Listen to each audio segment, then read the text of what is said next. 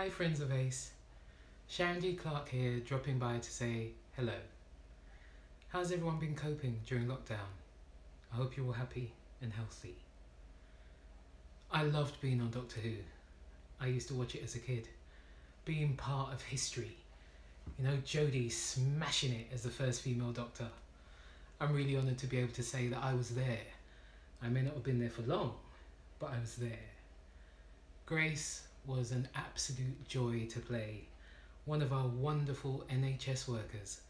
Her love and zest for life, her fearlessness, her sense of adventure, she would have thoroughly enjoyed travelling through the universe, experiencing life on a completely different level, seeing all those wonderful sights and meeting different life forms.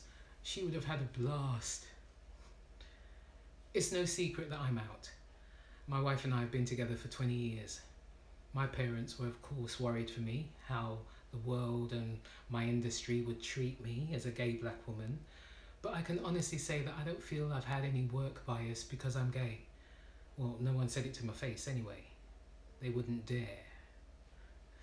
There was a time in my career when I didn't do any telly because I was only being seen for nurses and I chose not to be cast with that label. I wasn't going to turn Grace down though. And I was proud to play one of my sheroes, Ma Rainey, at the National Theatre. Now, if you've never heard of Ma Rainey, look her up. In 1920s America, she was out, loud, proud, and as big as Beyonce. I've been lucky, my work is varied, eclectic, and diverse across many platforms. And if me being myself encourages, inspires someone to say, I can truly be me and lovingly forge my life my way, then I'm a happy woman. So take care of yourselves, friends of aces. The world is a surreal place right now, but we'll come through. Fight the fight, shine a light. Wishing you all the very best. Bye.